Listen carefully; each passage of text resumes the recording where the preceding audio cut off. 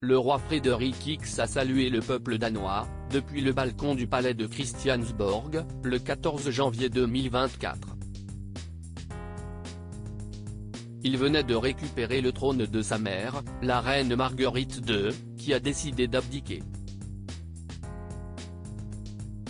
Un premier faux pas en tant que roi Tous les yeux étaient rivés sur le roi Frédéric X le dimanche 14 janvier 2024. Sa mère, la reine Marguerite II, a décidé d'abdiquer à l'âge de 83 ans après 52 ans de règne et elle a donc cédé le trône à son fils aîné. Elle avait prévenu son peuple, le soir du 31 décembre 2023, alors qu'elle présentait ses vœux à la télévision. Chose qui avait surpris tout le monde puisqu'aucun souverain n'avait pris une telle décision en 900 ans. Si est donc en tant que roi que Frédéric X a salué ses concitoyens, depuis le balcon du palais de Christiansborg, le dimanche 14 janvier 2024 auprès de ses proches, dont la turbulente princesse Joséphine. Si son épouse, la reine Marie, a fait des débuts impeccables, on ne peut pas dire autant du nouveau souverain danois. Alors qu'il levait sa main gantée en direction des curieux, beaucoup ont repéré un petit détail, il portait, au poignet, un bracelet noir en macramé, traditionnellement associé au bouddhisme, qui symbolise la paix et l'illumination. Mais pas que.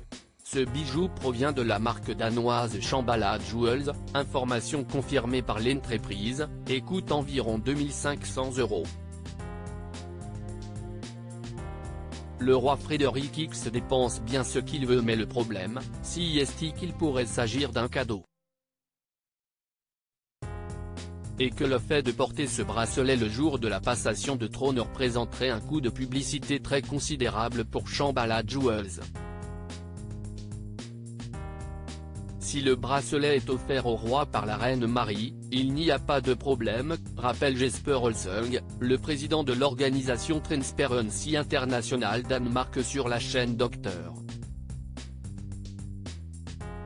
Mais s'il s'agit d'un bracelet offert par Shambhala pour valoriser son image, alors nous sommes dans une situation où quelque chose ne va pas.